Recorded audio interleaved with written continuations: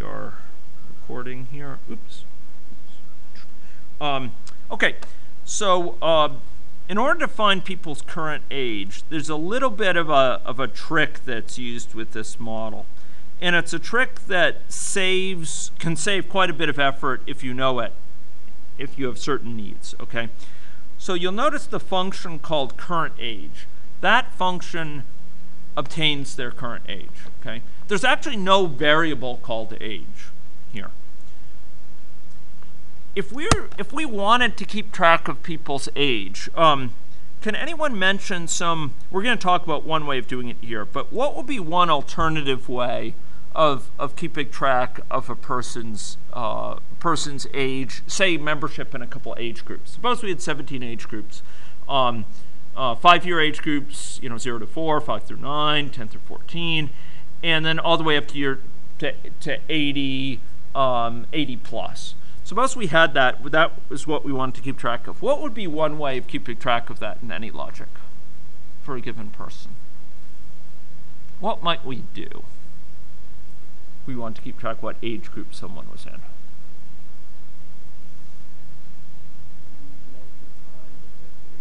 Okay.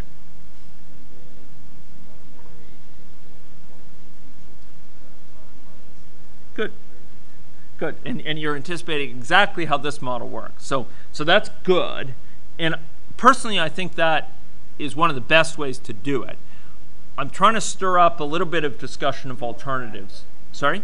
You want the bad way. I, I want not necessarily a bad way. It turns out that a, a way that has some um, some things to recommend it as well, but uh, uh, but it's different from that.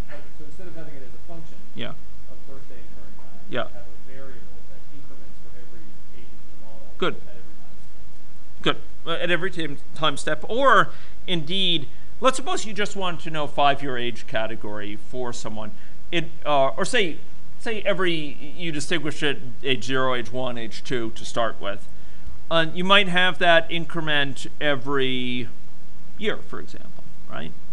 Um, you could have an event that wakes the person up and says, "It's your birthday," um, and and they wake up and their their their age is imp- uh, incremented, right? Um, so we could have an event.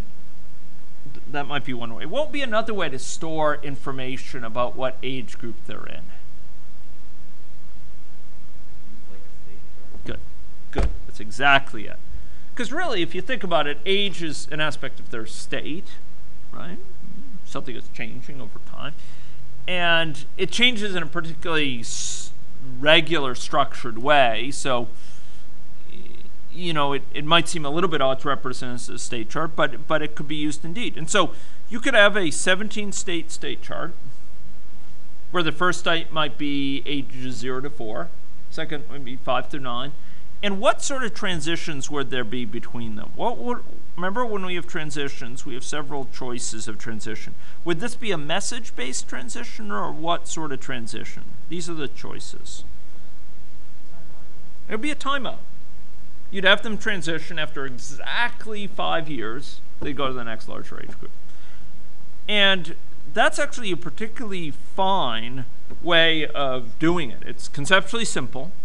It's visually sort of apparent what's going on. Um, there's no need to kind of go from their their floating point value of age to their age category in some complex way.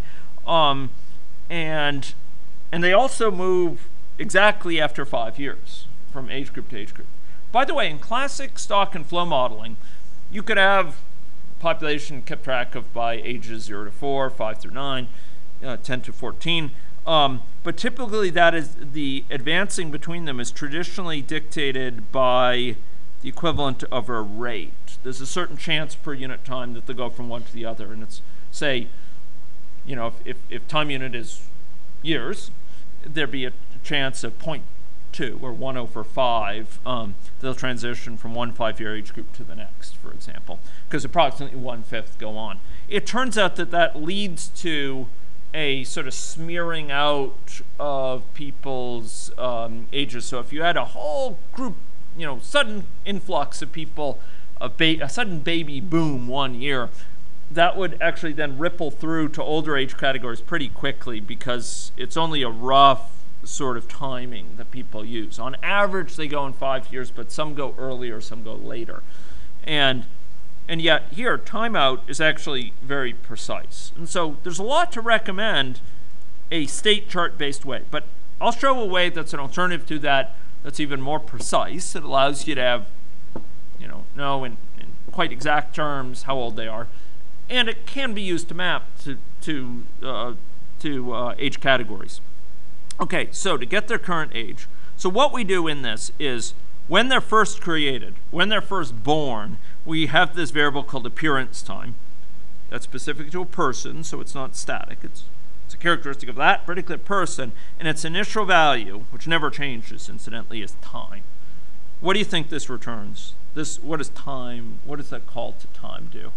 It returns the, yeah, the current time, basically the current model time.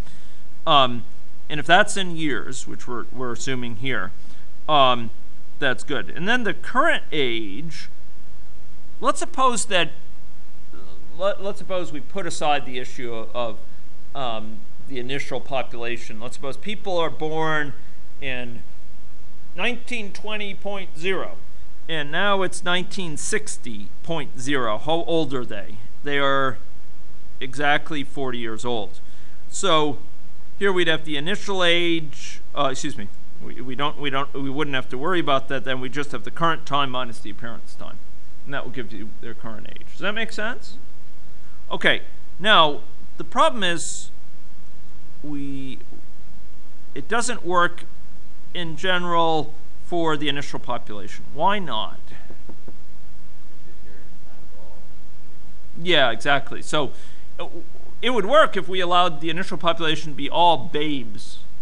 Uh, uh you know, uh, all all babies.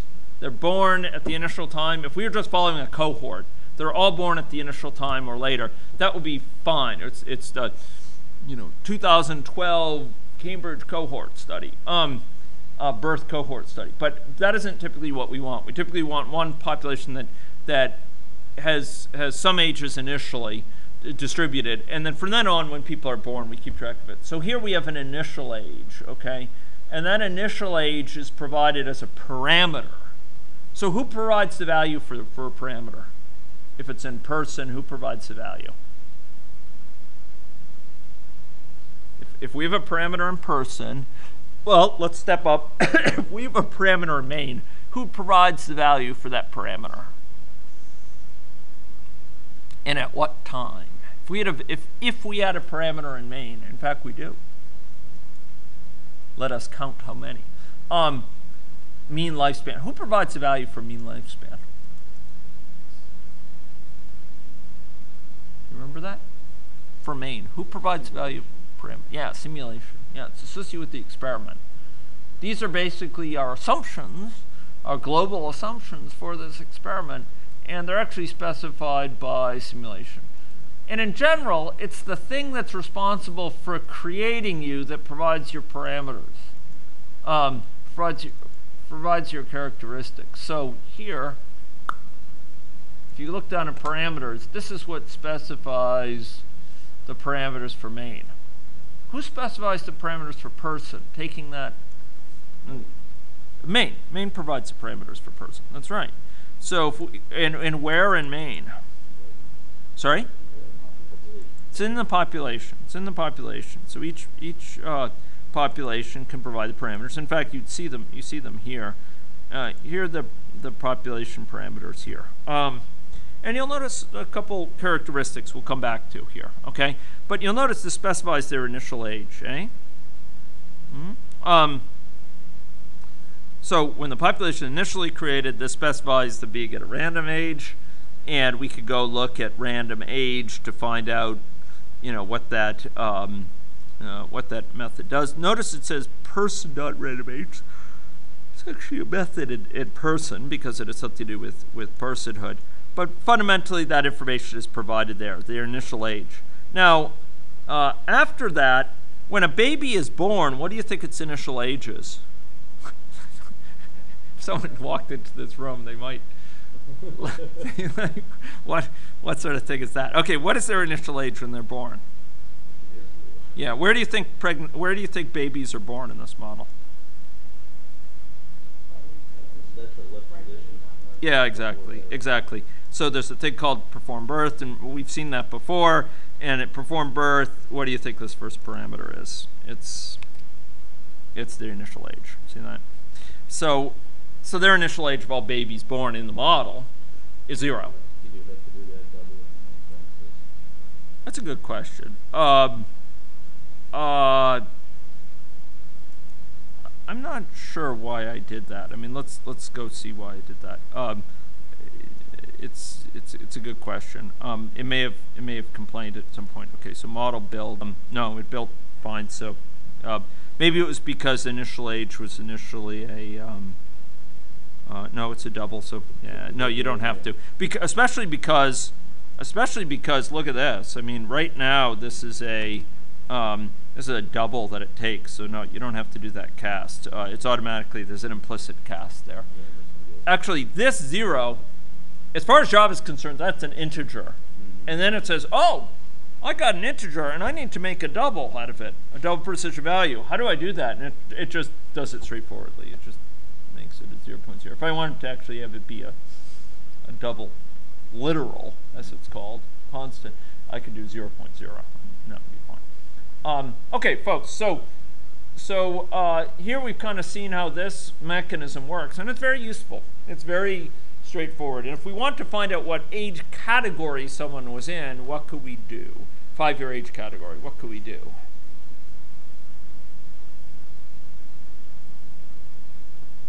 Just take their age and divide it by whatever percent Yeah, uh, with the exception of, and you have to be, you, with, with one exception. And what's that exception? If it's five year age categories, if it's 17 age categories, five years up to 80 and then 80 and over, then we'd have to have an exception for 80 and over. If they're if they're 80 or over, they're in the highest one. Otherwise, divided by five, and and uh, and and then it's an integer. It would be it would be an integer. So um, yeah, um, there we go. So uh, that's pretty straightforward. Okay, so um, so that's uh, that's handy. Now let's suppose that we wanted to keep track of, and this is where it comes into collections. Suppose we want to keep track now of, of all the babies that were born to a given person here. How do we do that?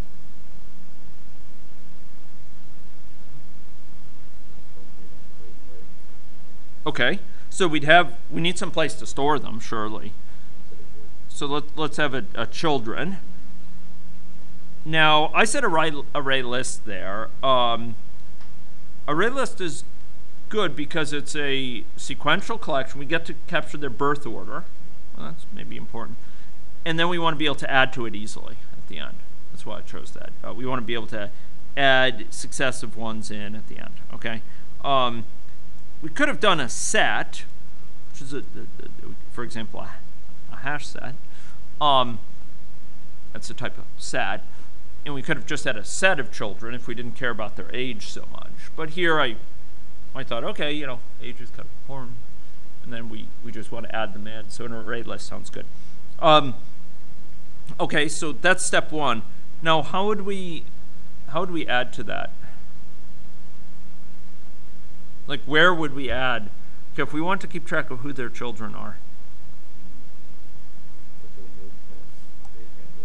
Yeah. Um, okay. So yeah. So here we're gonna have a birth occur, and then in perform birth, this is this is where the action's at. Can you see that? Children dot add offspring. So implicitly, this should be. I mean, to be to be clear about this, this should be what dot children. It should be really mother dot children. To be to be very clear. Alternatively, it's mother is this um, because that's the one who's transitioning from pregnant to a non-pregnant state. But to be so conceptually clear about it, it's the mother's children to which we're adding the offspring, the record of the offspring. Okay, um, so that's that's all well and good. And if if we wanted to report who the children are of the mother, and I think we we actually had some need to do that. Like maybe it was when we clicked on this. Let's go back to dynamic and we can see that.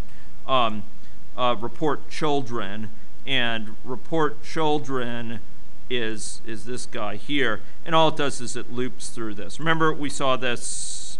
This is what I was saying about collections. You can just iterate through them. Children is a collection. Here, it's iterating through to each person. We've seen this syntax before in our lecture on Java statements. All this does is it goes through this for each child, which is in this collection, each of those children being a person, the the the name p child, person child, uh, is successfully bound to each of them in turn, and then it it executes the body of the loop. So first it asks, is the child passed away, and if so, um, uh, it said that you know they're they're they're dead, otherwise they're alive, um, and uh, and it says they have a population location, you know this certain thing, child toString, and then then it increments. Oh, this says I child. Um, oh, we don't really need that anymore. Um, so I could actually clean that up. We don't really need this I child. So. Uh, oh no no excuse me excuse me. Oh my goodness. Um, I child no it doesn't it doesn't undo it. Um, it it I saved it. Uh, there've been a few times in my life where I've saved too quickly I child thank you. Um, I child um, index child the child's index. Why do we need that? It's because of this thing here. I child um, so we're going through, we're saying my child, act, you know, number zero, number one, number two. Just wondering to Yeah. the Java syntax, can you say I child plus plus in parentheses right in, in, in this line? Yes, you could. Yeah, you could go like this. Yeah, yeah. The problem with that is, okay, so so that's a great question. Can I do that? Yes, I could, and then I wouldn't need this. But why should I do that? What are the arguments Again, for doing this? that's cool. Yeah, it allows it to be done all all at once. What are the arguments against this? Sorry. Overlook it, you can overlook it. You can overlook it, and what might happen if you overlook that? So I would say, uh, I'm going to give my opinion on this.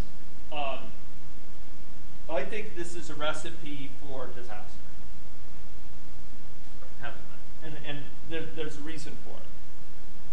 Why, why do I think this is a recipe for disaster? I mean, it's actually correct. There's, nothing wrong with this. It would work just fine, and it's a little bit clever. A little bit clever. You do it all in one line. But there's a it's a potential recipe for disaster. What is the recipe for disaster? The recipe for disaster, folks, is that, um, and and again, I, I apologize uh, for for if I can't articulate this well, but after you know after you've spent decades doing software development, um, there's things that are different levels of transientness or permanence within your projects. And something that's quite transient is things like uh, informational things you print out. So, th- so this prints out some. Inf- so that's you- great. So you may remove it later. You might remove it very casually. And that's it. You say, oh, you know, I'm clut- my console window is getting too cluttered up. Um, here's a trace that I don't really need to know, that, you know, the, the, the child, um, um, child, or I might rearrange this. I guess this is called report children, so that's unlikely to get to get all removed. But the point is that the, the exact syntax used here, the formatting of it might change a lot. And in short, folks, I might I might go change this um, quite frequently, you know, about this, and I might easily overlook this, um, and and forget to put that in there. So personally, I would be, I feel it's a lot less risky to, in fact, have a separate line just to visually emphasize that I am I am changing that. Um, again, perfectly correct. It's just it's vulnerable to to differential change rates. The change rate associated with the vagaries of how you want it to be printed out. But if it were not for printing, but for other calculation, what you could? Um, yeah, I mean, if this weren't this, I might use it, but I also have to say that if there's too much packed on one line, sometimes you might miss the fact that that's there. Um, I'll, I'll tell you another thing. Someone might, conceivably, you might do cut and paste, you know, um, uh, you know, something like this, um, and and their name is, um, you know, um, uh, whatever whatever their oops their their name is, and you forget that you've cut and pasted that same um, same thing. You know, uh, their name is um, uh, whatever. Um, da da da da and and you for, forget that you've now copied it twice, and so generally speaking, um, you, you got to be cautious about our limited ability to notice things, and if you lo- overload too much, um, sometimes you end up, uh, particularly with side effects. This is what's called a side effect. It changes something, and it's very easy to copy a bunch of things, not think about side effects, and then you get you get bit by them because suddenly you have something child incrementing by two instead of by one. Does that make sense? So you have to be a little bit cautious about it, but technically it's perfectly correct. Yeah. Um. So, uh, so by the way, what does this return? I mean, this this value returns what? The what? So what is that value return that's in the parentheses there? And in fact, I don't even need this. I could just go like this. You don't even need parentheses. Um, that looks weird, but but but that actually is correct because these two are right next to each other. What is that actually returning?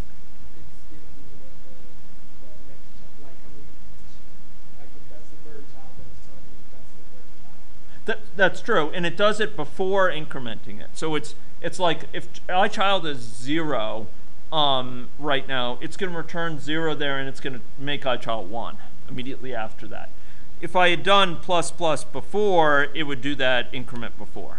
But yeah, okay, okay. So folks, that's um, that's a reporting of of children there. Um, so fair enough. Now, um, let's suppose that I wanted to record for each time someone is.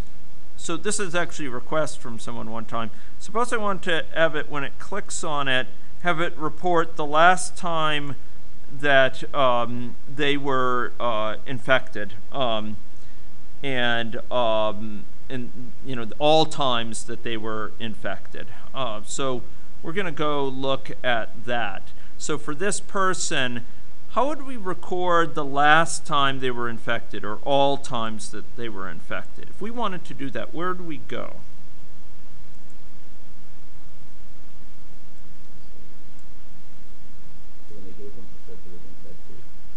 Okay, good. Good, good. Um, so, um, okay, right. Um, so this, I'm, I'm just looking, um, uh, right. So what this was is, um, so when when people get infected here, um, there, that's that's where it's occurring, and um, there's actually nothing uh, nothing there. I'm trying to remember because um, uh, right um, get connections number okay. So that's where I would have uh, expected it, but uh, pardon me for just a second because I maybe Did you finish that part? no, because I'm pretty sure we did. Uh, but I, I'm wondering if actually I removed uh, I removed it. Let me let me let me just go take a look at this here. Report uh, last time infected for all persons. Okay, right. Um, so uh, this was this this dict last time. Okay, where can we find that? Let's go. Well, this will illustrate um, use of AnyLogic. Let's go find this dict last. Oops, last time infected uh, for person, and we could search here. Um, okay, so uh, there's okay. Here we have two um, two two uses of it or references to it here and one here.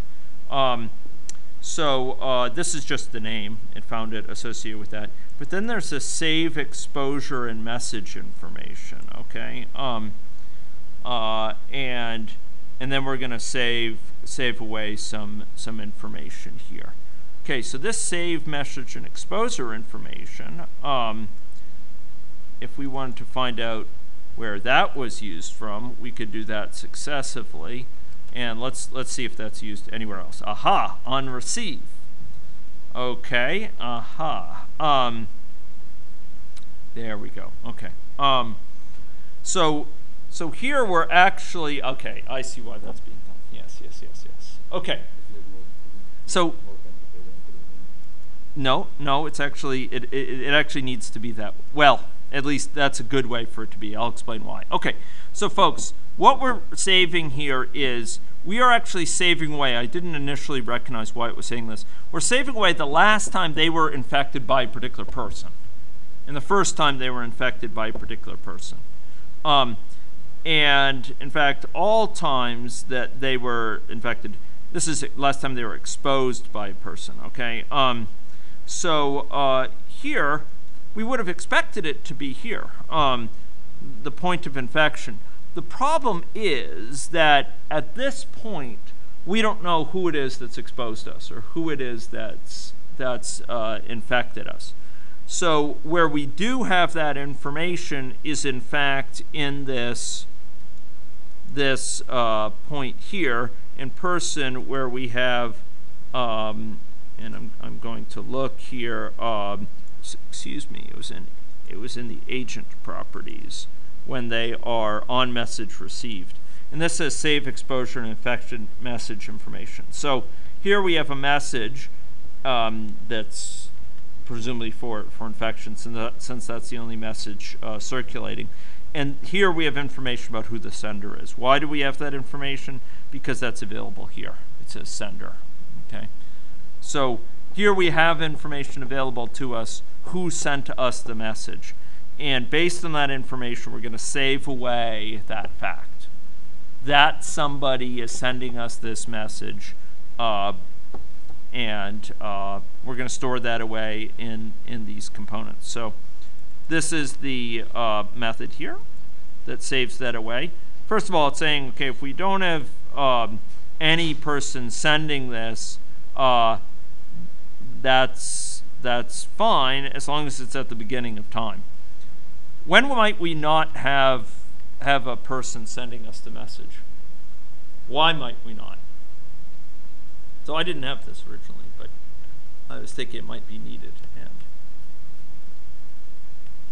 okay, um, when the message is sent by the environment, this is when the message is sent via environment delivered to random at start if the sender is null. Okay, okay. So there's a potential we we won't have information for one case when it's sent at the very particular time. Um, but if we do have information, what we're going to do is store that information on who the sender is, and we're going to associate that with a certain time. Okay. Um, so that that records that we've been exposed by this person. Okay. We're, if if we get to this point, we're, we're going to report that we've been exposed. Now, that that's a different question about who infected us, because we might not be in the susceptible state. We might have gotten exposed by somebody several times, but it doesn't matter because we're not we're not susceptible. So double is with D because it's zero times. And why is that? Yeah. Yes. Um, funny you mentioned that. Yeah. No, that's right. Um, okay. So, folks, um, I mentioned earlier, and some might argue that I even mumbled it, um, that uh, that arrays, built-in Java arrays are special because they allow you to store uh, lowercase int. Remember this? Okay. Um, lowercase ints. And I don't like to get into this, but uh, it turns out, folks, that, that there's a set of um, yeah, I have to hold back my, my sort of uh, ju- judgments on this matter.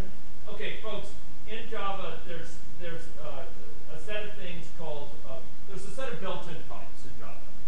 Ints, doubles, um, another one or int is a built-in type, double is a built-in type, char is a built-in type, short is a built-in type. So it's a small integer. Um, and there's a set, set, set of other ones, a very small set. Small set. Um, it turns out these are called unboxed versions, okay? They're, they, when you're dealing with these, you don't have to have references. They're, you just store the actual value. But then there's a boxed version of all these called with with, with uh, big uh, that's written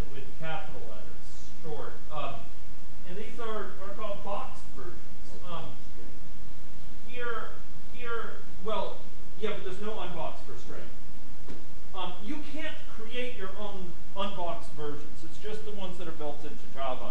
And for those, um, you uh, you have corresponding boxed ones. And, and, and most of the time, when you build your own, um, well, when you have these uh, collections, you have to refer to the boxed version. You can't refer to an unboxed. So, so a dictionary, uh, if you go look at uh, this dictionary, uh, the last time exposed per person, um, this one here, what you'll see is that it's a dictionary, um, uh, a dictionary of person and double. Java will give a problem. Watch this. Watch this. If I said I want to map a person to a lowercase double, Java will say, I don't know what to do. Um, um, dimensions expected. It doesn't know what to do. If I put double with a capital D, um, it'll be a happy camper. And um, What's that? be, because So I thought the references were introduced because the, of the variables of um, sort of variable length. So because a string can never know how long is a string. no, So that's why you need a reference. You can't have array of strings because the strings can be different. But for integers and doubles, you know the length of the strings and bytes, right? The length of the variables and bytes. and stuff. string. It, so in C that would be that would be true. In in Java, um, strings are classes. These are classes, okay? And and and collections like that. Uh, generics only deal with classes. Um, so uh, so when you have Asher, you have to have a, a class here and a class there. This is a class. The lowercase d, it's not. A class has has instances, has these particular uh, objects for it associated with that class. Persons or associated with the person class. You have many particular persons um, uh, that are instances of the person class. Double has many particular values that are instances of the double class, and and um, lowercase d double. There's no class associated with it. It's a big. I, I could use some strong terms for it, but it's it's it's it's a bad thing that they that that that you have to worry about this, but but you do. Um, and so in short, um, with a, capital F. so in short, um, you have these sort of correspondences, and it's just a pain that sometimes you're going to have to use the, the capital D double and um, and then dumb thing. You have to you have to go put this um, when you record to it. Uh, save save exposure and message information. When you record to it, you have to say new double of this thing. Um, this is actually returns a lowercase d double thing, and then you have to create a d a capital D double sort of version of it. It's it's a pain in the butt, um, but it's it's very sort of limited. So first we store away the, just the record the last time we are exposed by the person, and we do this regardless of whether uh, it's already already in there. And then um, oh, this is this is so so again we we up here we um, saved away uh, the information about exposure, and now we're saving away the information about um, uh, if we were uh, infected, um, and and then um, if this is the last time we were infected, and then uh, save away information um, for all times we were infected. Um, so here, these are these only apply if we're in the susceptible state because we can't be infected by this person unless we're, we're currently insusceptible. Um, and here we're saving away history information um, uh, regarding um, regarding infection. Okay, so um, here we're, we're saving away history information, um, and in this case, um, uh, first need to check if there's already information in it. If so, we just return it and insert the, and update the time. Otherwise, we we sort of uh, record this as the first time associated with this person. So here we have these dictionaries. These are dictionaries because we want to map from the person who's infected us to when they infected us, um, or the person that's exposed us to when they exposed us. and this is basically the the way we uh, we record that um, through this sort of information. So here, these dictionaries are recording our history information, saving that away, and we are uh, uh, we are uh, either updating um, the information associated with the neighbor that's exposed us, or we're we're creating a whole new record for that neighbor. Um, so that's a little bit of a of a different um, component that we've seen in other models. Any questions about that? Does anyone want me to go into that in more detail? Okay. Um, a little bit of sort of uh, new new stuff there. Um, okay, so what other components are here? Um, key point is we can get access to that sender information. By the way, suppose Java didn't allow us. So Sergey was saying, like, isn't this more confusing? Does it have to be in the message received? Why not associate with this this thing here? I agree. It would be much more transparent if it were associated with this transition. Let's suppose we want it to be associated with this transition. Um, how could we do that? Suppose suppose AnyLogic didn't let you get the sender information. How would you get that then? In this case, suppose we had this model which only has one infection in it, and there's only one type of message being sent. How could we get that information about who's the sender?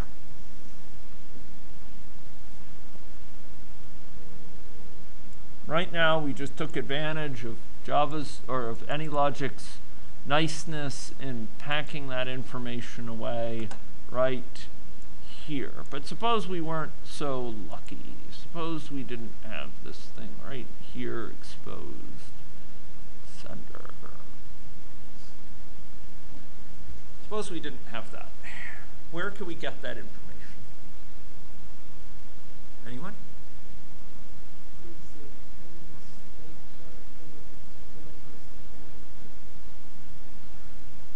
I mean, um?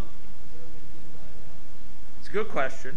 I don't think there is. I'd have to look through at this version of Java to find out, like, when you get a message, could you somehow request who sent it? Um, that's a good question. I don't. Last I've checked, I don't. I don't think it is possible. But and let's imagine that that you can't do it through some sort of built-in Java mechanism. How could we make it do it? There is a way. Just remember, folks. There's typically in in this sort of um, in building a, any uh, agent-based models, there's typically many ways to go about things. How could we do this another way if we had to engineer it ourselves?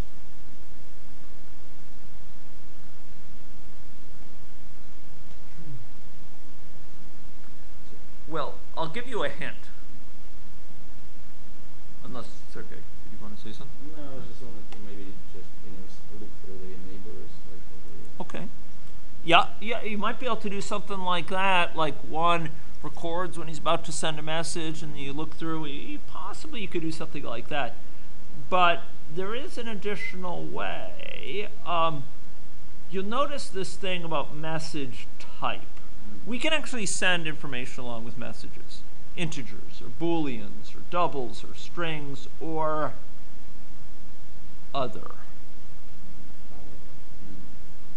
So we could actually send along with the message. Yeah, yeah. So um, we could actually send here when we expose somebody else, instead of just sending infect, if there's only one type of message that's going around, really that doesn't give a lot of information. That's all there is. We don't even check it. So what we could do is we could send what? My hand is reaching for the keys. This, thank you. That's why I was reaching for the T key. Um, uh, we could send this. That'd be a reference to us to that other other person, and then they would need to unpack it. I'm, I'm switching it back from this. They would need to unpack it right here. Um, okay, so we'd be sending a message type. We could send a person message. Um, and we could send, uh, and then right here, you'll notice in the action item, MSG is the message. Um, and uh, and so we could from that message you know extract the person associated with it i'm not even sure we need to sort of cast it since we said person here and and, and then we could do whatever with it. So in other words, we could send our identity as the message. Right? We really haven't made much use in this class at all of sort of being able to send information with the message. For the most part, we've sort of had one message type, but you could send information about who you are. You could send information about, you know, the nature of this contact or or the um, level of closeness of the contact or whatever along with this message. And that's useful. That's useful. So, arguably, this could be done more nicely, as Sergey was sort of saying, by maybe associating it with this, with this uh, transition here, and just having it unpack the message, turn it into a person that's infecting us, and, and storing it there. Does that make sense? Okay. Okay. So um, that's that's um, um, some other components. Okay, here's another component. This links into some things we've been talking about recently. Um,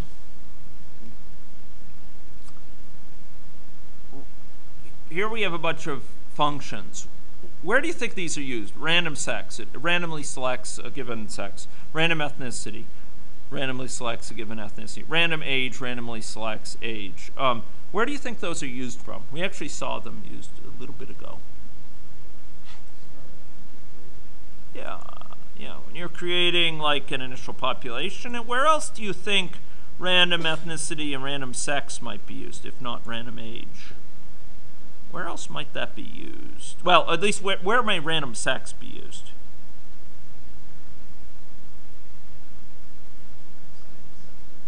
A baby, yeah, that's right, that's right. So, um, okay, so here, when a woman goes from a pregnant state to a non-pregnant state, she performs birth, and in perform birth, we add to the population, and we call random sex here. Okay, why don't we call random ethnicity? Where does this ethnicity come from? Yeah, this is the ethnicity here of the mother, because we're, we're not simulating the father's role. Um, but but random. Uh, okay, so this is an interesting question. Um, uh, okay, so so maybe maybe we'll deal with that right now. Um, okay, so one issue is scope scope of the model. What?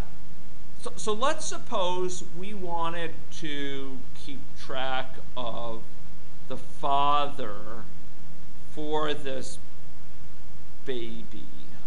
So imagine that we had an algorithm that allows us to combine the mother's characteristics with the father's characteristics to create the characteristics for the baby. And, and it might be at the genetic level, at the level of alleles, um, you know, and loci, or it might be at the level of um, of, of just sort of uh, rough characteristics, eye color, whatever, um, whatever characteristics you want. Uh, ethnicity might be one of them. Um, let's suppose we wanted to do that. Where, how would we store that information?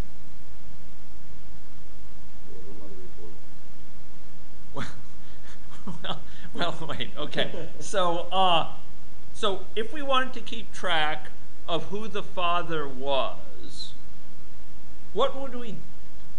Okay, so so we're all set here. When the baby gets born, we want to determine its characteristics based on the father. Where where do we get the father's information? I'm actually trying to stir up some discussion here to think because it's a very interesting issue, and it's an issue with a little bit of, of intellectual depth to it. How do we store that information? Okay, so so let's suppose we wanted the father's ethnicity. Well, I was just gonna say, could you create an array of parents? Like type Okay. Okay. Uh huh. Put a name for the mother and a name for the father, and you just need to be consistent as far as which one comes first. Okay.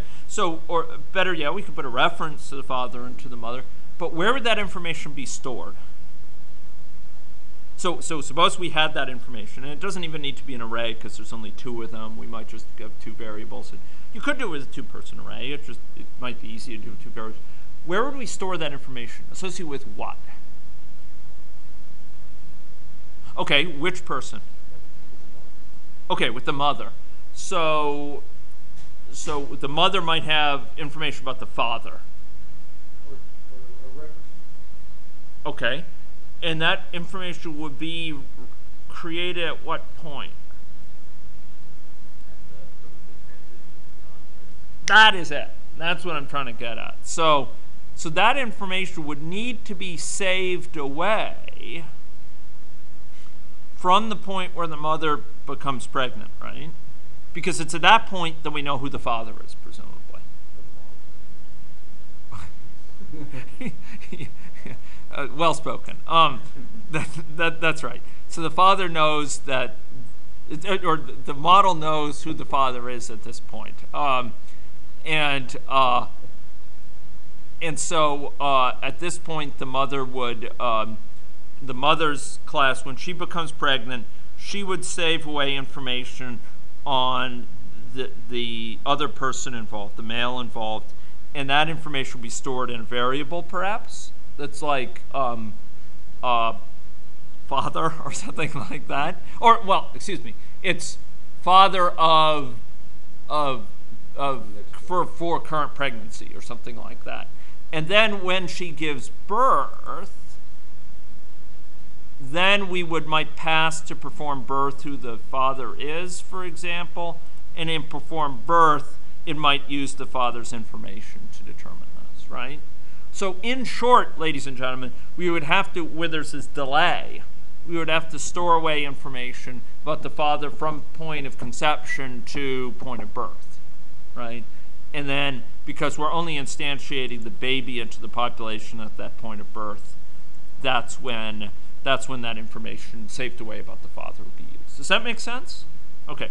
So it's it's a little bit textured there. So similarly, like if you want to store away, I don't know where. Um, well, yeah, I mean, you might want to store away information on father. That's not a crazy idea at all. So you could have family trees within this model. You could then do statistics on along the lines of some things that Chris and I have been talking about. You could then do, you know, potentially sort of simulate the effect of doing statistics to take into account family history information in the model and and um, and you know examine the, the reliability of certain measures that take into account family history information. So um, you could create you could create a simulation of contact tracing where you take into account the particular family structure. So staving away that father information is not at all a crazy idea, but you would have to do the key recording of who the father is when the pregnancy first occurs at conception, and then that information would then be used at time of birth to instantiate the baby's characteristics. Right? Okay. So, so fair enough. Um, uh, in, in this model, I didn't take that into account. I did record for that person who their mother is, um, but I did not record who's their daddy. Um, and here, let's look at these other pieces of information. In fact, we could find out sort of what each of these does. Okay, so there's there's uh, age, there's ethnicity, there's the baby's sex, and then there's are they initially infected, and then um, by the way, notice that it creates documentation on your own little um, uh, own little thing, and then who who their mother is. Um, okay, so uh, that's useful. By the way, this is their mother, right? Um, this is a reference to a person. It's just a parameter like any other parameter. It's it's uh, created uh, at that time of, of performed birth. In the initial model, we don't keep track of whose whose mother is who. Um, this random sex that chooses among random sex. Now, again, how would you encode? How would you encode the different sexes? Male or female? Zero one would be one way. What would be another way to do it? Quotes and strings, male, female. Good. What, what's another way that we've discussed? Yes. I- yes. Exactly. In um, you, you give your own names to it. That's exactly it. So, what would be the trade-off? Zero and one. Well, I argued it can mean different things in different circumstances. String, quote male, quote female. What might be the problem with that? What sort of problem could come up? Believe me, if you've spent so many years doing software development, you've seen these things before. Exactly, you can miss. Exactly. It's like there's no standardization, there's no enforcement that oh you've done it inconsistently. There's no way of it kind of knowing that you mean the same thing with lowercase male and uppercase male.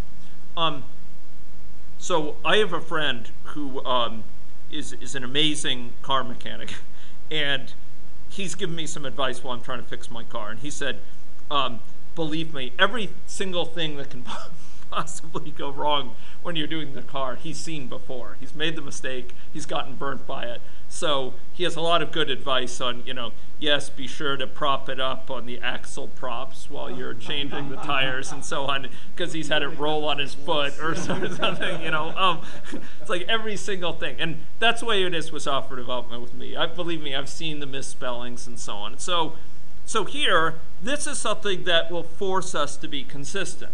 Because if we said lowercase, you know, male, and we tried to build this thing, it would say, I don't know what you're talking about. And if you if you capitalize it properly, it will be a happy camper. So here you're using you're using Java, you're using AnyLogic um, use of the build to to enforce convention, to enforce consistency. And enums are your friends. They are similarly your friends for uh, encoding other things like uh, ethnicity. And we've seen actually with ethnicity um, that, uh, and we'll, we'll go to this here. This, this is a little bit more advanced. Okay, so here's the declaration of the enums. Um, uh, so male, female, and here's a bunch of ethnicities.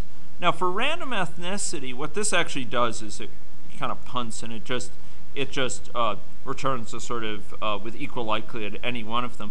But the interesting thing is we can actually ask, okay, give us all the ethnicities as an, what sort of thing might you ask for the array of? A, this is an, begins with a capital A, it's an array. This is an array that this returns.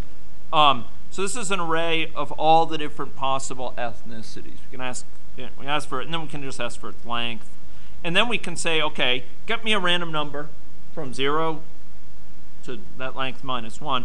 And then we can just look up in all those values, find the ith one. So basically the first here would be, if, if, if that was 0, it would be a First Nations person. Second would be a Métis. Third would be East Asian. Fourth would be South Asian. In short, we can get kind of an array of all these values and return the ith one. Does that make sense? Where, where did you get a minus one? Oh, oh, okay. Um, that's implicit with. It's a good question. It's it's implicit with this uh, next. Uh, excuse me. Uh, it's implicit with this next next int, I believe. Um, I believe it's it's from this to minus one, but I'd have to I'd have to double check that. Yeah.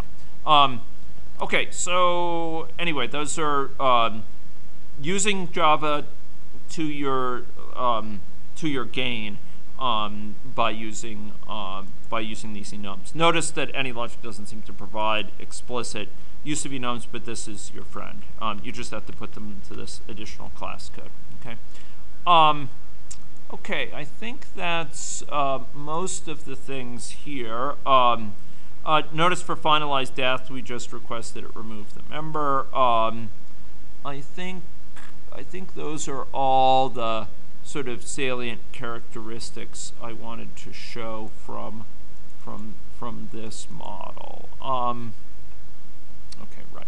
Um, uh, okay, uh, right. Um, this immigrant arrival. Um,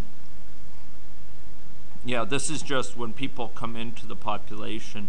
Um, uh, yeah, um, we, we create a new a new person with these characteristics. Uh, we assume they're uniformly distributed between zero and the oldest age group. We, they're random ethnicity, random sex, and and that we have a certain prevalence of infection.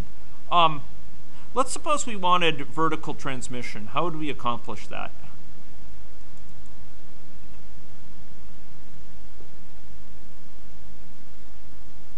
How would we accomplish vertical transmission? If we wanted a baby to be infected if the mother was infected, or if, if we want a certain chance that they were infected if the mother were infected, where would that occur? That would occur at point.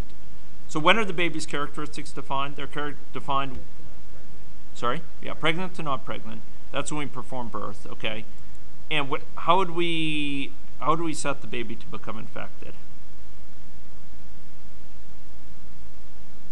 Infection at, at, at population. Yes, yes, okay. And in fact, if you look at this, there's an is initially infected. Okay? Now, that is initially infected. Let's suppose, and, it, and not only that though, folks, um, I would argue that if you went up to population here, we also, in population, we have a certain well here yeah it's a certain um, uh, a certain uh, chance there this is the chance here um, if a certain chance remember it's true or false and um, and here we just take a random form uniform value from 0 to 1 and if it's less than the initial prevalence of infection suppose the initial prevalence of infection is 10% um, so it's 0.1 is the initial prevalence of infection. Uh, uniform value, it's being drawn between 0 and 1. And suppose we get, most of the time, we're not going to get something that's less than 0.1. So most of the time, this is going to be false, right? If the initial prevalence of infection were 0, this would never be true, right? And no one would be infected. Um, the initial prevalence of infection were 1, basically every yeah every time as long as this doesn't go to the upper bound of exactly one so we should probably we might have to be check the definition of, of how this is defined. But the point is essentially every time they're going to be infected. So this is a way of determining that. Now if we wanted that to occur when the baby is born the uh, vertical transmission what will we do for that here? For perform birth how would we how would we implement vertical transmission here? For this initially infected, what would we pass? Yeah, pass whether the mother is infected. And in fact, we ask this dot is infected. Why do I ask this? Why do I say this dot is infected? Why not why not just put a big big expression there? Ask if they're in this state, for example.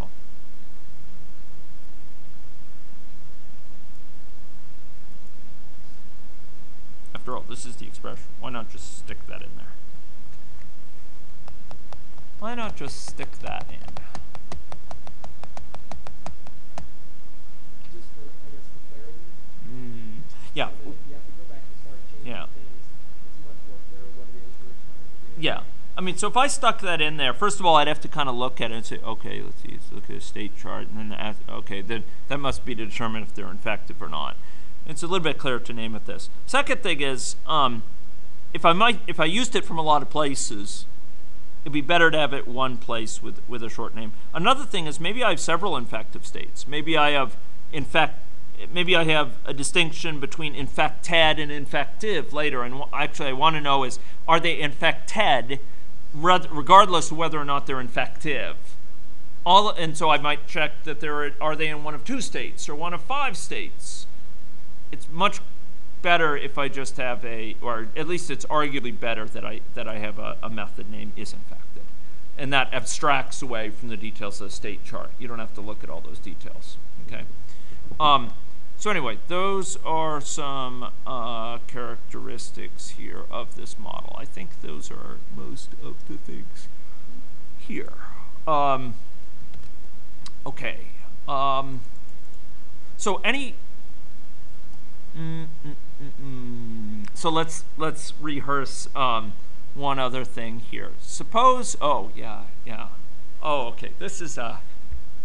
Uh, should I discuss this now or leave this for later? Um. Uh. Yeah. okay. Um. I think I'm gonna leave that till uh, a future. Um. Friday or, or next Wednesday. Um, yeah, so so folks, um, remember this whole issue about why statistics can be slow. So you remember where do statistics live? If I want to find statistics to count the number of infected people, where would I go? Okay, Main, and where in Main? Uh, actually, it's in it's in this guy here. It's in the, yeah, yeah, yeah. In fact, I have an infection stat. Okay, um, and and I said that that has many virtues to recommend it. What's the problem? Count them all up. So if I had lots of statistics, it would keep on going over the population every time. So let's let's go see that again. If, uh, I argued, okay, click there, Control J, there we go, and you can see it's a loop over every person in the population just for this one statistic. Okay, um, if we have many statistics and we're calculating all of them, that is not good with a capital N, um, and G. Um, so. Uh, what I did here is um, I actually have a uh, a thing which loops over the population once, but counts the number of people who match different specifications. So for each person in the population, I loop and I sort of count the number that match different specifications. So one specification might be, are they in zero to four, another five to nine, uh, what have you, and and I can sort of classify them accordingly. But this, to understand this, ladies and gentlemen, will require two small, uh, two, two, two lectures. And I'm going to, This this statistics is calculated every time uh, declaration is performed on the population, adding or destroying somebody. You, you, you could do that, for example. I, I can't remember right now where it's, where it's done, but, but it could be done very readily. Um, or it could be done on a periodic basis just to record it to a database or whatever. Can you, can you perform it only when you invoke those statistics? Uh, yeah, yeah, it's when you call the statistics, you say, compute this, and it will go. And they, you know, take like one hour. Yeah, that that's right. That's that's right. Um, okay, and and we'll actually see another model where this is is used um, uh, in this flu immunoepi model. Um, I think I uploaded this to the website, and before we before Friday, I'd like you to download this because this is actually a fairly sophisticated model, the flu immunoepi model, in terms of calculating. Um, calculating uh, sort of the number that meets different different uh, criteria. Okay, and it will show you some some capabilities there. But first, I want to um,